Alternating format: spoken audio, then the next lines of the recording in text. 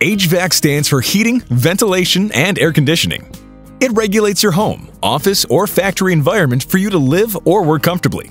Three things you need to understand about HVAC. First, the more expensive brands may not be the best choice for your needs. Certain brands or systems would work better in your area or climate. Second, bigger may not be better. Smaller may not be cheaper.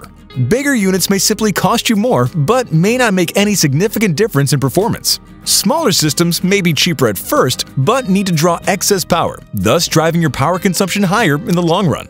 Third, choose an installer that has extensive knowledge and experience in HVAC systems. Our vast experience in installing HVAC systems worldwide makes us the right choice. Choose us.